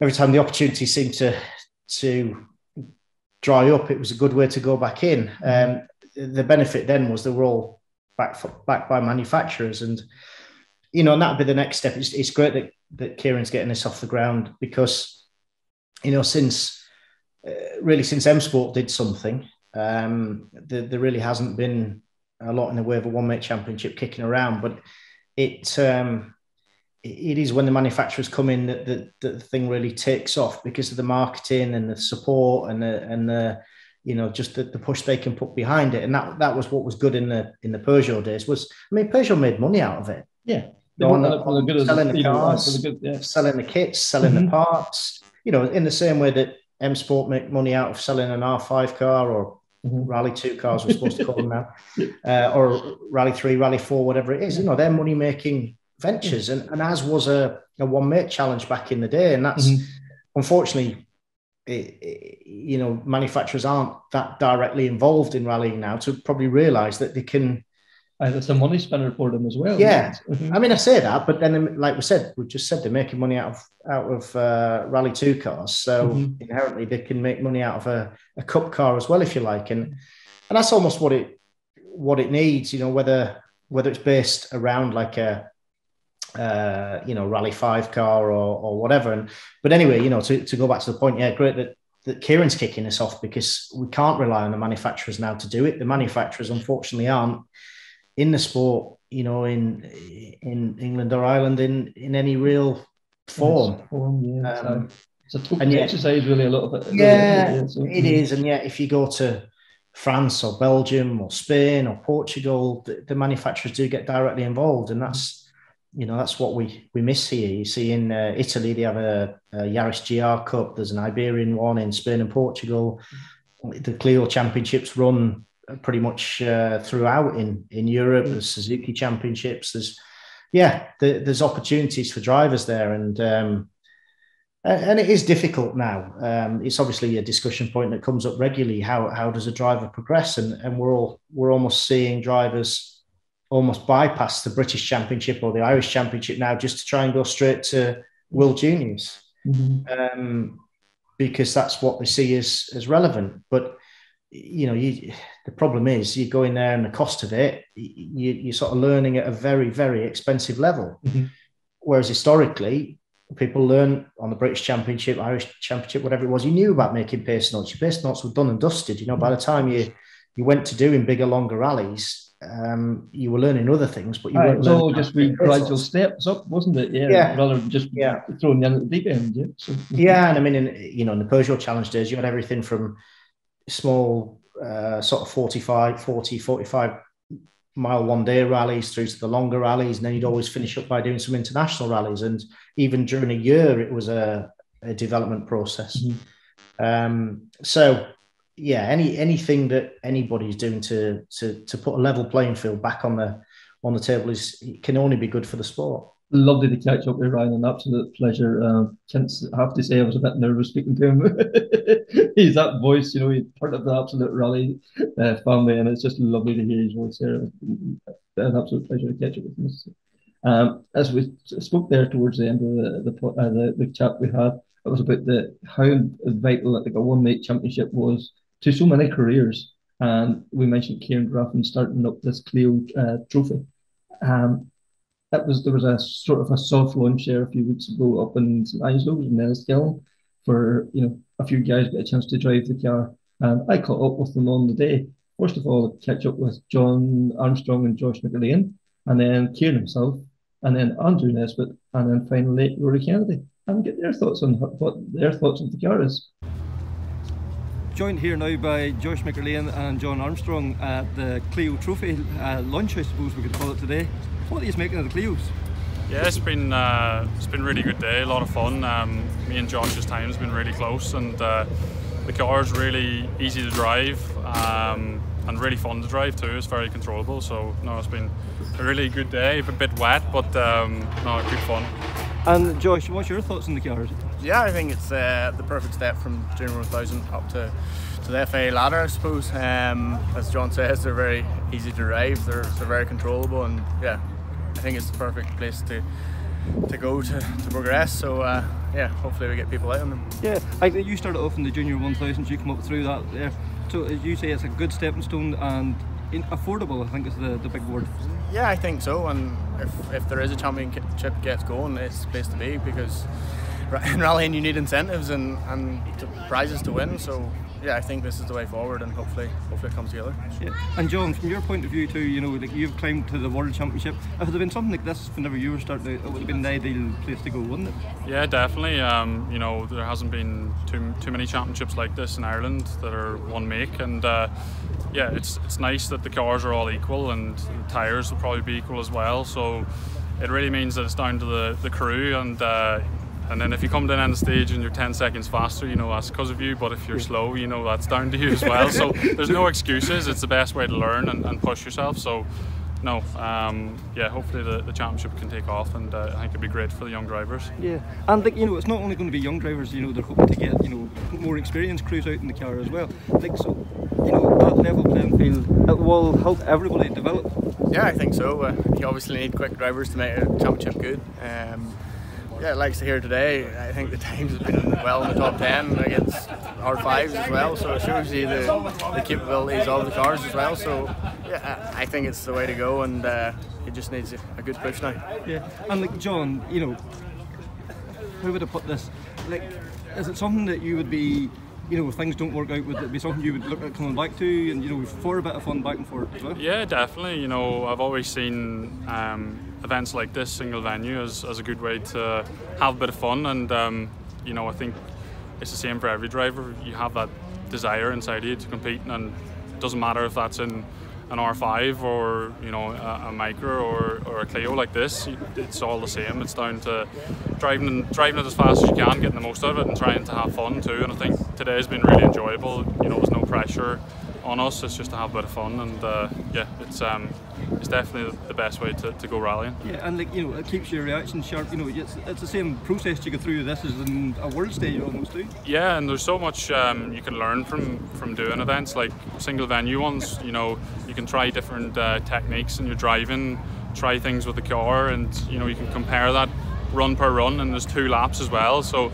you quite quickly figure out, oh, I messed up this lap, and then the second lap you'll do it a different way, and you'll find you'll feel it. That's much quicker. So it's a really good way to learn how to, to drive more efficiently too. Yeah, and Josh, I'm sure you would uh, agree with that.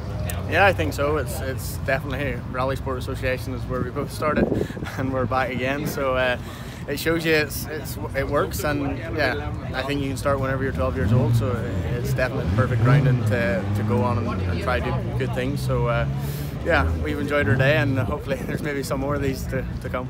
Kieran, we're here today in uh, just outside Enniskillen with the, the Clio Trophy. Uh, what an absolutely fantastic initiative! Ah, yeah, you know, like it works really, really good in other countries. Like, you know, there was one of these rallies in France. There was 51 of these cars entered the rally. You know, the, and the, you hear from the boys today they're such an easy car to drive. They're, they're really really impressive. Mm-hmm. They're just so impressive. Like. and can you give us a sort of like a breakdown of the cars? You know, what's the power unit? And the, the beauty of these cars here is it's virtually a standard factory built car, built by Renault. So it is. So it's a factory built car. it's 180 brake horsepower. I can't remember the torque figure. Really good torque on it. Like uh, it's on a Sadev sequential gearbox. It runs standard brakes. Uh, obviously, it's coilover suspension, so it has. Uh, it has a different ECU, hydraulic handbrake, brake bias. Apart from that, there every every part on the car is standard. So, like if you break a drive shaft or wishbone or something like that, there you can literally go to your Renault dealership and just order a part. That's it. It's simple. You know, it's, it's almost a no-brainer. It, it is a no-brainer, and uh, I say, like Motorsport Ireland are doing a thing on, on Tuesday in Tina, and Josh is going to take one of these cars down and take young competitors coming from juniors up into the next level and stuff, spinning one of these cars, like just let them see what they can do. But like even Andrew, you know, he can't get over how good they are. Aye, this is the guy that has Yeah. won how many Yeah. you know rallies over Yeah, the years. you know, and he just and a man's always been out of rallying for a long time. He come here today, fair play to him, stepped into it. You know, he's come for the day's crack, which we appreciate, and he has really enjoyed it. And Rory, Rory as well, like you know, unbelievable. Like yeah, and like, you know, you have two of the best, you know. In Ireland, I know, world, I know. You, know, have Joyce Aye. and Yeah. and they can get over the car either. So like, that speaks volumes for a car that's, as you say, almost you know just slightly up above standard. To have such fun with the car, it's- it's unheard of. It's great to see. it is like you know, and you know, even it's great when you see them two boys being so tight in time. Yeah. It just proves if you have the talent there, them drive, them cars are so drivable. Yeah. You know, they, they just work. Yeah, that's the nut behind the, the wheel that makes the difference. Exactly. Ah, yeah, yeah. Kieran, all the very best for this. I think it's a brilliant. So we'll speak to you soon. Thank you very much. Uh, it's great to see a Nesbitt name back inside a rally car again, Andrew. Uh, look, it was amazing to get round St Angelo's today, especially with all these young fellas like John Armstrong and uh, young McErlean. It's great to see it all. And look, there's 120 cars out there today. Conditions were wet, but I have to say the Clio is the Renault Clio is amazing. The grip with the car, the gearbox, the braking, superb. And it was great to have Rory Kennedy back on board with me for one more run. Uh-huh. And like these, like Kieran Graffin was explaining to us, they're almost like a standard car with you know a few minor upgrades and one thing and another. This is such a, a you know a fantastic car for young guys coming up and even the the, series, the seasoned competitor. Yeah, well, look at for a one car make it's fantastic. I think there should be 20 of these cars on the island of Ireland for young guys coming through their first rally car, their first experience of rallying in Ireland, and then they can move on to four wheel drive cars later. But today, these cars were, you know, right up there in the top 10, mm-hmm. in fact, fifth and sixth and seventh. So that's a lot of pace for such a cheap car and a competitive car at that. Aye, and like it will really show that you know it will show the talent will show through because all the cars being equal. You know, it showed where you can make improvements. You can see where all the people's doing, and you can improve or whatever Yeah. needs to be done. Well, you can see young Josh McErlean and John Armstrong there today. Their times were pretty much the same all day long, and uh, so when they can get into the top six in these cars against R5s, Subarus, Mark II Escorts, they're all there. That's a very competitive car, especially in these wet conditions. And like for yourself, you know, you haven't like rallied a front wheel drive car before, and like getting back into left hand drive, is a day of learning for you. You know, isn't that a great thing still? Well, do you know what? I love getting into left hand side because that's the only rally car I've ever driven since 95. They've always been left hand drive, so that's very easy for me to get in there today. But front wheel drive was a completely new experience. Left foot braking, revving it out to the rev limiter, all of that stuff I wouldn't be used to. Like as Rory and Kendi and I talked about, we're used to a lot of torque, but mm-hmm. these you have to rev them out. And Josh and young Ricker Lane showed that. Yeah, and that you know, and that's what rallying's all about. It's learning, it's always developing, it's moving on. Yes, and you know what, Kieran Graffin, hats off to him. He's brought all of these rally cars here today to show the world of rallying what you can do with the one make strategy, and I hope it really works because we need something like that, a cheap entry into motorsport, and that will grow the sport throughout the island of Ireland and Europe. Lovely experience again. Um, I get an opportunity to sit with Andrew here at um, St Airport in Enniskillen and the, the Clio Trophy Cup cars. Um, fair play to Kieran, Kieran Graffin. He's um, assembled, I think, maybe five or six cars, and he's got Andrew, he's got um, Andrew, he's got Josh McErlean, John Armstrong, Callum uh, Graffin, and himself to drive the cars. And uh, it's a great opportunity to showcase the cars, what they're capable of, in a very controlled environment. And like the, everybody seems very impressed with the cars. They seem to be loving them. It's such a, a great stepping stone from the junior categories, and you know, it's, it's a, a natural stepping stone. Uh, I think you're right, Kevin. Uh, It is the it is the sort of natural progression, you know, for young drivers, and um, and not only that, but I can assure you one thing: uh, John's only have to go in third fastest, and I think Josh maybe equal third fastest with him there on that last stage. And there's quite a variety of machinery here today, so it shows the potential of these cars. But anyway, it's um, absolutely a great stepping stone and a great progression for young drivers. You know, and you know, a structured one make championship is is what uh, traditionally has been a feeding sort of a feeder for uh, top drivers coming into the sport. Yeah, we think back, you know, years ago, like the Peugeot Cup and the C8 Cups and all those cups. That was what made, uh, you know, the likes of Colin McRae, the name he was. That's where he learned his trade almost. That's right, I and Richard Burns too. You uh-huh. might add as well in, yeah. the, in the Peugeot Cup. But um, also don't forget we had the C2 Championship, sitting on the C2 Championship in more recent years, and that proved very, very competitive, and some fantastic drivers come up through that as well. And um, you know, it, it, it, gives the drivers opportunity to do the big rallies, do proper recce's, write their own pace notes, and there's lots of manufacturer support. Uh, maybe even tire support, fuel support, insurances, and stuff like that. Mm-hmm. And uh, it's definitely a very good stepping stone for young drivers. That's for sure. And like, uh, you know, and control costs as well. You know, the cars are you know a step up from standards. They're not mega expensive to run. All those things is very important at an early stage of your career in rallying. Yeah, of course, I and the cars are professionally built as well into the, mar- into the bargain, and you know they're modern, uh, a modern car, proper proper category, and um, you know it's it's it's uh, dare I say it, they're good safe cars as well. Um, not to say any other cars aren't, but um, uh, in terms of the cost, it's capped. The cars you pay whatever it is for the price of the car in day one, and generally everything else, all the other costs are capped. And I suppose that's essentially what makes it um, very affordable rallying, if rallying can be affordable. Yeah, that's for sure. So, uh, like, we're, we're, we're wishing Kieran all the best for this great, uh, it was a, a, a fantastic initiative. Fair play to Kieran for taking the initiative, as you say, Um, something as rally needs, badly needs something like this as a feeder for our young drivers into the top level uh, in this country. And uh, Kieran is a great rally man himself, great family tradition, and uh, supplier of a lot of rally cars, as we well know. Very good driver in his own right. So it's great that somebody like that who understands the sport is behind us. And um, look, there's lots of people here today who's taking lots of interest in what's going on, and uh, you know I think this can only go from strength to strength. Uh, great, and I really I have great high hope for that championship. So you know, watch this space, as they say. Uh, also got a chance to catch up with Scott Singleton. Maybe not a name that's familiar. The surname we're familiar with I suppose, spectators of a, a, certain vintage like ourselves, Connor. But um, his father is Wally Singleton, and like he had some phenomenal cars over the years. But uh, Scott recently took part in a rally out in Belgium, and I just thought it was a, a fascinating story. Uh, I wanted to hear more about it, but I started off by asking how he got involved in rally. Um, well, I really started rally crossing when I was when I was eighteen, but um, it was always just a stepping stone before I, before I got into rallying. So um, I've a, a, I had a car just before COVID, a rally car, and after doing I think it was done three years in rallycross. So uh, I bought uh, I bought a new car there at the start of the year, and we've been doing bits and pieces, um, sort of in the north, and uh, we're we're done the we're done the down rally, and then we're on the Ulster.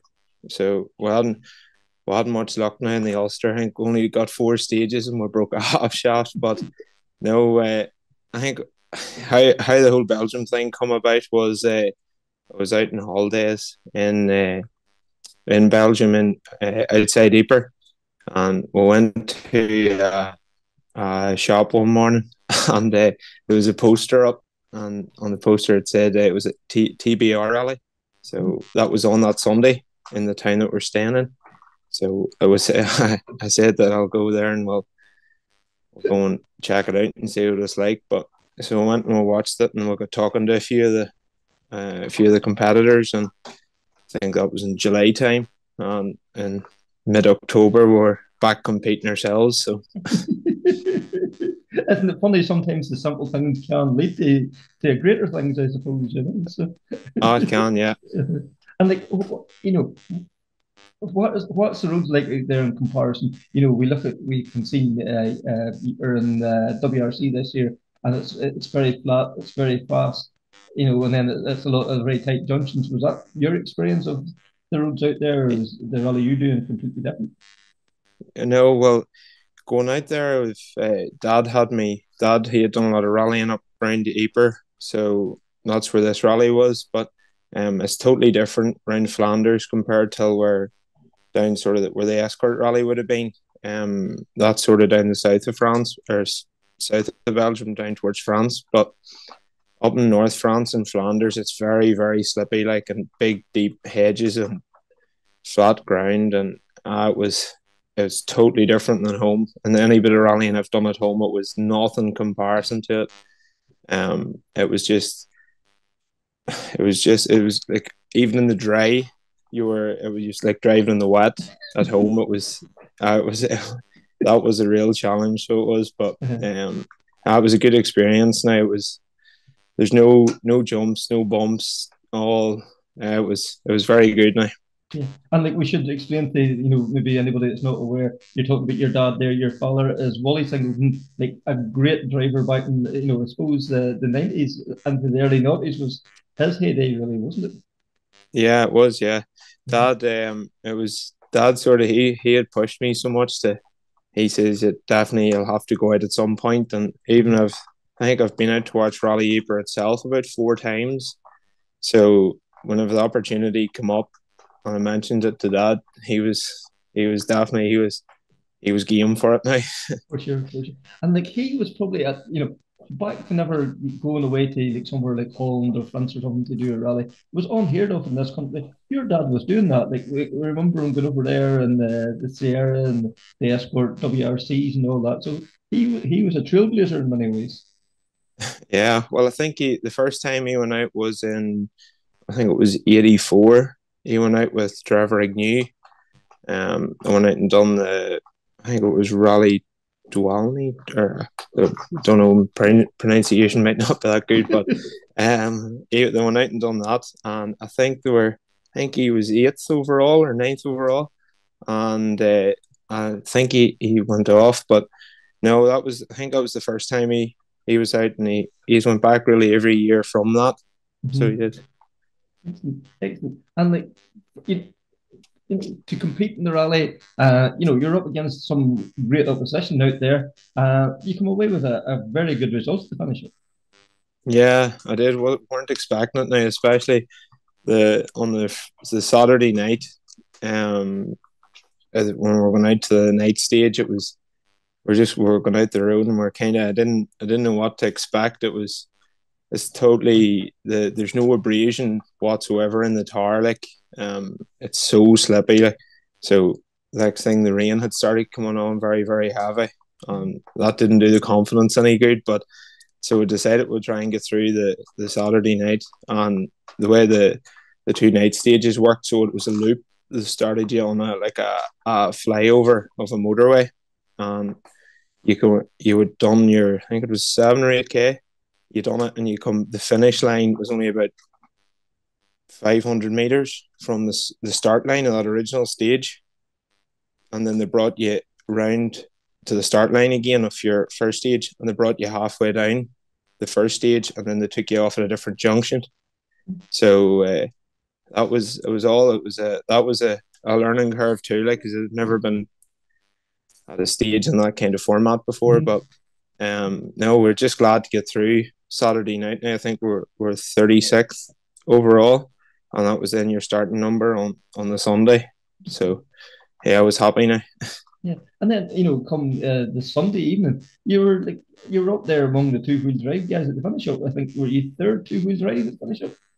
Yeah, um, we're sort of on the on the Sunday we we just kept uh, we just kept battering away all day really, and just I wanted to get a finish, especially after the Ulster. So, um, to whenever we come over the ramp and that uh, it wasn't expected. Now we got it was a big surprise. I think we were the first foreign crew and we were the first in that in the FIRC. Mm-hmm. So I was was more than happy now to, to come away over or come away at nineteenth or overall. So yeah, like you know what a brilliant result! Your first time there, your third ever rally. and come away with a top 20 finish. Uh, you know, it's nice to bring the bit of crystals home as well. Like, it, it must have exceeded your expectations in a massive way. Oh, it definitely did. Yeah, I wouldn't. Uh, I wouldn't expect it to be anywhere near it now. I was definitely was very pleased to I think the celebrations on Sunday night we all paid the price on, Monday morning, but, but, that's part and parcel of it. I think. Yeah, uh, you can't celebrate the good days, sure. no, exactly. and then you also got a chance to meet like a legend uh, Paul Lecher or Paul Lietaer, sorry, Lietaer, Paul Lietaer, yeah, uh, Paul Lietaer. Like many people here in Ireland remember him. We came over to uh, Killarney a few times back in the day, and he was also back over last year for the Killarney Historics. Like he rallied Mantas and the Asconas and. Like he is a hard charger. It must have been a pleasure meeting him. Oh, it was, yeah. Um, the way when you, you when you come over the, the ramp at the end, they, they put the first overall, first historic, and the first foreigner crew all in a row. So, um, I had the pleasure of meeting Paul then. We're parked beside each other, and oh, he's a he's a total gentleman, and uh, he was definitely was always happy now to, to be up there, sitting beside him anyway. But he he has a an Ascona 400, and he has a Manta 400 as well still. And actually, he gave the, the 400 Manta till uh, his mechanic to do that rally, and so he did. So I met him also. So mm-hmm. yeah, it was it was good. Now he's going. I think by the talk of him, he says he's coming over to do the historics this year again. So brilliant. We'll have brilliant. to see. Excellent. yeah. And then you know, going back to your dad, like you know, he had some iconic cars in his day. You know, we think of the Blue Gas uh, Sierras, and then the Escort WRC and all that. Does he still keep an interest in rallying? Will he, you know, does he still go out and watch? Is the, is the is the next still there? Oh, definitely, definitely. he, uh, no, Dad's is is involved in it with me and my brother. My brother still rally crosses, so mm-hmm. he's involved in the two of us. Our motorsport kind of so has took over his in a way, like so he gets his buzz out of us, I suppose. But uh, you know, no, he's he's still mad for it. He loves it, loves every bit of it. And would he offer you advice and all still to you know to oh he would wee tricks? He would. Mm-hmm. Yeah, he had uh, he was a, a mind of knowledge at the start, especially going out to, to Belgium. Like it was, um, as I say, the abrasion in the tire, like uh, the tire, would you sort of tire choice at home is totally different out there. Like I had the I the same the same four tires on for eleven stages, and they done four stages at home as well in the Ulster. And there's not a mark on them. There's it's just it's like driving. It's pure polish. The polish the surfaces like so. Um, you have to run a really soft tire choice, even though it could be twenty degrees. Like it's just the way it is. But Dad, he could help me with all that, and yeah, especially with pace notes and stuff too. He was a good help because uh, it's hard getting your braking, you know, for for square lefts and square rights because there's no no hedges or trees. Oh, you can never see it. Mm-hmm. You've you've no landmarks. So one minute you're you're flat out, and the next thing you you're into a square left. Actually, I think on the the Saturday night, I think we overshot twice, three times maybe. So yeah, Dad was he's a good hand now. Definitely is. And like you know, it's maybe a bit early yet, but are, you know, have you any plans maybe for the rest of this year, or are you would you be thinking maybe going back and doing more foreign events maybe next year? Yeah, I'm gonna I'm gonna try and do the Killarney Historics this year, mm-hmm. um, and then I'm gonna I'm definitely I'm gonna do a bit more rallying around home next year, but I'm I'm definitely gonna go back to Belgium. I really really enjoyed it, like so. Mm-hmm. I'll definitely I'll be back next year. It's the only the only problem with it is is the travel time away from home. Yeah. So it is. So I think uh, I think I was away for seven days, I had to get the, the boat from Ross or from Dublin to Cherbourg direct. So that's nearly 19 hours. Mm-hmm. And it only runs twice a week. So it left me, I was away from home quite a while. So yeah, can't overtake work either, but yeah, I'll definitely I'll be back next year. Wonderful to hear the Singleton name being mentioned again in connection with rally and like you know genuinely loved watching Willie Singleton competing at, at, at, a variety of rallies whenever I was was was out spectating and at the you know when I when I really get into it. So fantastic that uh, what do you call it? His son's now competing and and uh, looking forward to see how it gets on in Killarney in the historics. Yeah, and then I caught up with Aoife Raftery. So we'd spoken to Aoife uh, oh a couple of months ago at this stage, and uh, what do you call it? She has had an announcement of uh, her next couple of events. So I caught up with to see what she's going to be doing. Aoife, um, it's a few weeks since we last spoke. Delighted to have you back on the podcast.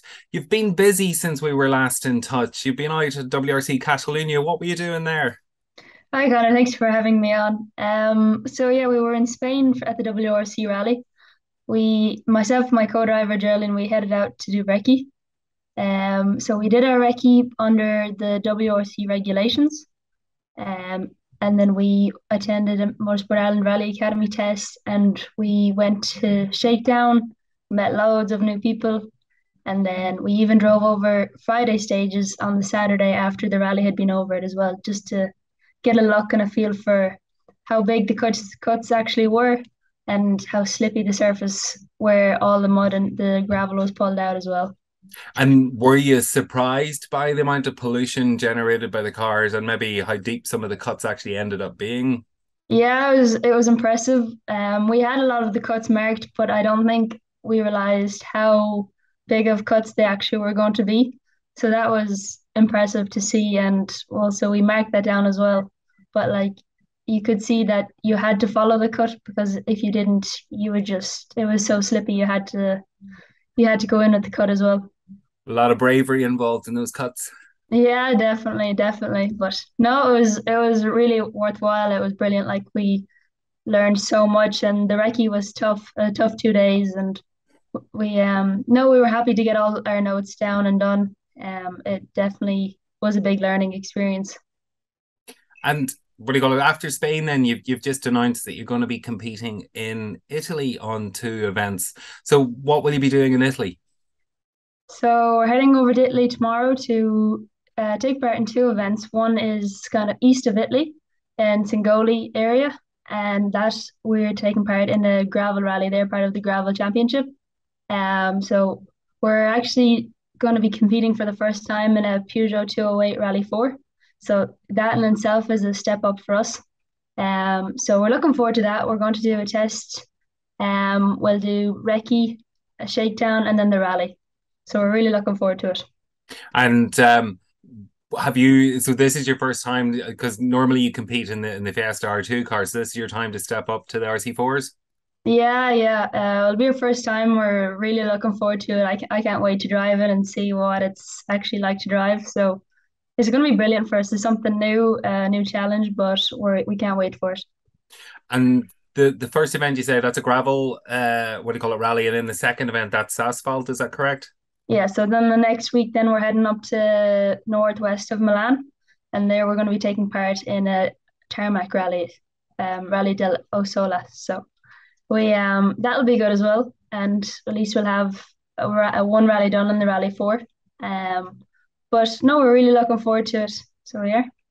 And I suppose you know, obviously picking out possible events to do. Why why did you decide or settle on on going to Italy for the two events? And also, you know, rather than doing two back to back gravel or two back to back tarmac, you know, you, you're you're separate. You're you're doing one of each really. So we're doing uh, one gravel and one tarmac because we feel that as rally drivers we need to be able to drive on both surfaces um, and it shouldn't we we shouldn't have a problem switching from gravel to tarmac. And at least that way we'll get to learn the roads in Italy, both surfaces. It's a new challenge. And um, Italy, I suppose, was we've we're coming off the back of doing a rally in San Marino last July, or this July this year. Um, and that we had a good run there. So off the back of that, with the team we were running with, Tamara Molinaro and the Motorsport Ireland Rally Academy, we plan to come out again and do these two events. And we put in a lot of hard work all year. Um, so we're really looking forward to it. And you, you mentioned Tamara there, and it's, it's her G Car Sport team. Have you had much advice from Tamara about you know how how to to prepare and prep yourself for these two rallies? Yeah, yeah, she's been a great help, and we're gonna be working closely with her as well when we head out to Italy. So it'll be great to have her experience and her knowledge of the roads to help us and just kind of guide us and give us tips. So no, it'll be really good to have her. Like she's a European Rally Championship ladies winner, so to have that help and that support will be great. And what are you and Geraldine targeting from the two events? What what do you have other than getting the experience? Is there anything else you're aiming to get from this? Um, I think for us, the one of the big things is it's going to be taking a step up in the Rally Four. So it'll be good for us to also gain some knowledge on driving that. Um, to see as well, it'll be great for us. I suppose a lot of it is about experience and building up as much seat time, and especially outside of Ireland as well. Um, but to have Tamara there, I think that's going to be a big help. So it's it's the preparation, everything that goes into doing an event outside of Ireland. It really all helps going forward to do more rallies as well. Like if we want to keep progressing and doing more rallies outside of Ireland, so this all contributes to that. Brilliant. And is it too early yet for plans for next year? Things still up in the air, or, or uh, kind of have you have you got a plan now coming together? Um, no, things are still kind of up in the air. Like we're trying to come up with a good plan and include rallies that are both here in Ireland and then also outside of Ireland. Um, but no, the hopes would be to compete in both nationally and international events. Um, and hopefully, if we could do some more recce's as well on like as we did for Spain, that would be super for us because there's just so much learning involved in that. Um, but yeah, no, we're trying to make plans for next year, so that'll be good as well. So, Aoife, you're very heavily involved with MI Academy. How are they supporting you with these two events? Yeah, we've put in a lot of hard work with the Motorsport Ireland Rally Academy. They've been in great help and support and the, all the background team. So, without them, it wouldn't be possible to be going to these events. Um, we've done nearly 20 rallies this year, so that alone has built us up. And San Marino, um, with the Motorsport Ireland Rally Academy, it's all led to here. So, with working with them, um, we're hoping to put in a good good result and you know uh, gain that knowledge and experience over in Italy.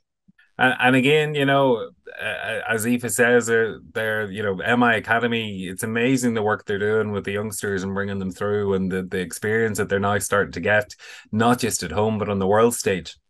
For sure. That was for sure. You know, like they have right from the grassroots, right up to somebody now sitting in a, you know, a Rally One car.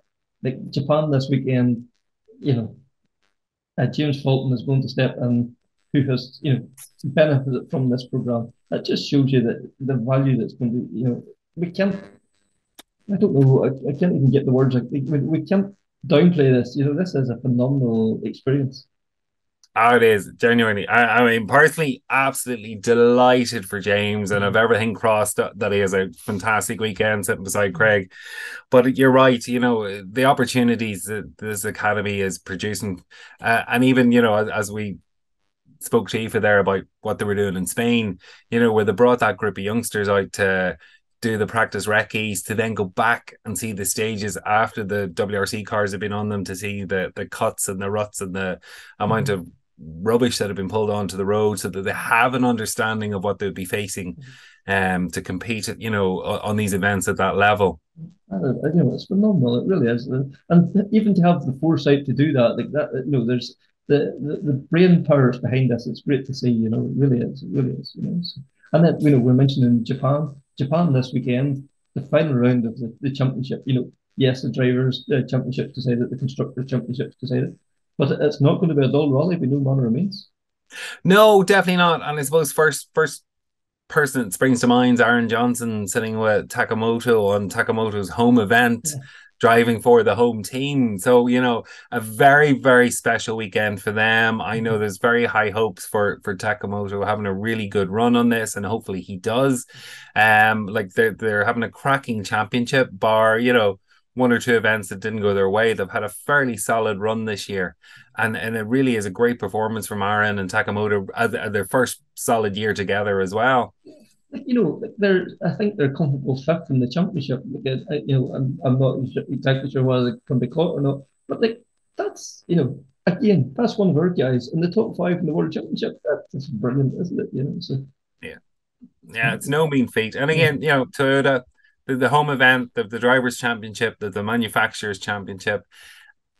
Japan's been on the cards now for the last two years, but with COVID, they're finally getting to compete at home and really celebrate what that Toyota team have done over the last couple of years in the championship and how they've come together and been so strong. Uh, you know, it's, it's great for the sport. It's great for for Toyota, and I hope it encourages other some of the other Jap- Japanese manufacturers to maybe consider, you know, returning to the sport. Wouldn't it be great? Wouldn't it be great? And like you know, it'd be great to see them take the one. But like Hyundai maybe want to try and spoil the party. Like we know that. Uh, Tanak and Neuville especially can be frighteningly fast on tar. So like they're you know they're not going to get it all their own way.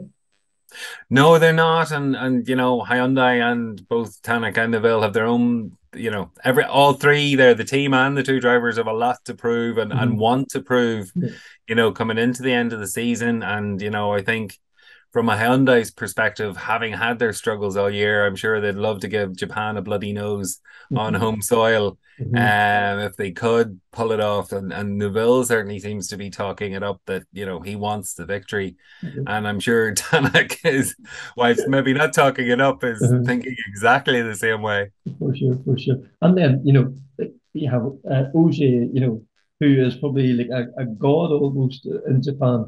He's not going to be wanting to, you know, go away without tasting the champagne on Sunday evening. Rovanperä, the world champion, you know, he's going to want to go finish the year in a high. Evans has a lot to prove still. You know, is he going to be? He's obviously going to be fired up. So it's, it's going to be a very exciting rally.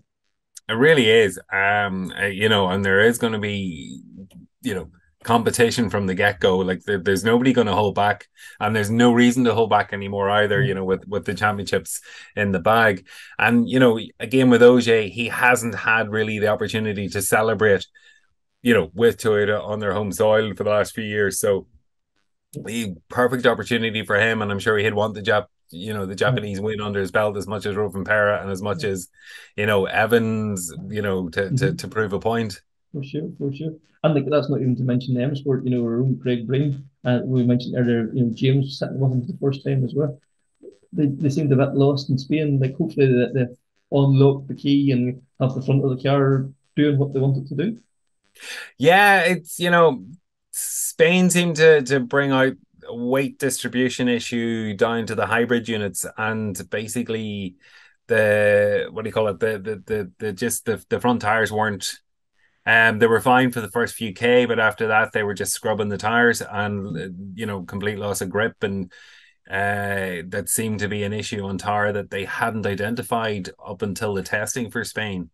So I think that one kind of caught them by surprise. So hopefully they have gotten on top of that for you know the roads in Japan. That is for sure. That is for sure.